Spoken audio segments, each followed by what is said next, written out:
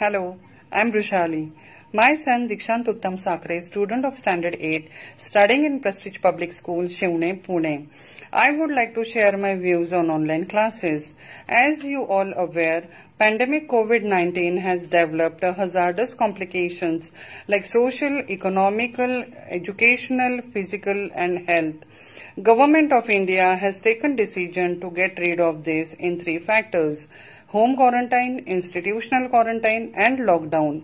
In this situation, people are the most sufferer, but the children are at the most. That is, they are missing their schools. I'm happy to say you all that school has taken a good step of online education and it benefit a lot. First benefit, alertness. Second, focused on daily update.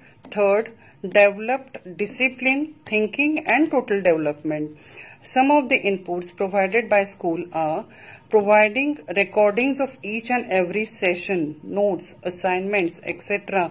on daily basis. All the doubts related to online session like timely intimation, scheduling of batches using Google Classroom, uh, foolproof exams, assignments and individual focus on students are maintained properly by school. In spite of routine academic work, additional co-curricular activities like aerobics, physical exercises, art and craft are also being conducted by school online.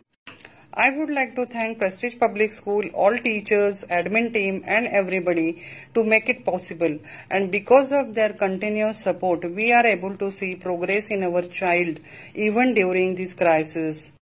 It's a wonderful session, so I request to all please get advantage of this. Thank you.